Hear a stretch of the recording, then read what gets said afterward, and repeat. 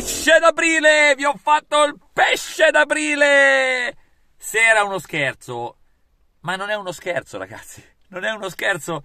Ieri dei giornalisti hanno scritto dappertutto Bale e Hazard al Milan.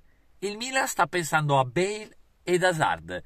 Ecco, io volevo lanciare un messaggio a questi giornalisti con la mia eleganza, con la mia raffinatezza, con il mio savoir faire, con la mia pacatezza. Mandatevela a fanculo